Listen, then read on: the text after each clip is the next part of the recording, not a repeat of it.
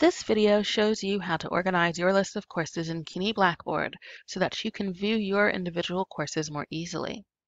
While you don't need to do this, it may be useful if you've taken online courses at another CUNY campus and still see them listed under My Courses.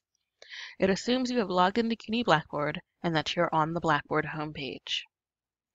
Once you're on the homepage, hover your mouse over the bar that contains the words My Courses. When you do so, a small gear appears to the right of the title bar. Clicking this brings you to the Personalize My Courses window. I suggest that you organize your courses by term. To do this, select the box next to Group by Term on the top of the page. You can opt to show or hide all courses from a particular term. To do so, just deselect this button. You can also reorganize your terms. For example, if you want to move a different term to the top by clicking and dragging over here. Once you're happy with your changes, click Submit. And you can see that your courses now look quite different.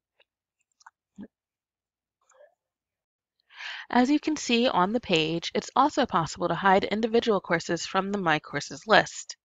It's very important to note that nothing you do on this page affects your enrollment in your courses. It only determines whether or not courses you are enrolled in and have access to are listed on the Blackboard homepage. As a result, we strongly suggest not hiding your current semester courses. That concludes this video. If you have any questions, please post them to the QA forum.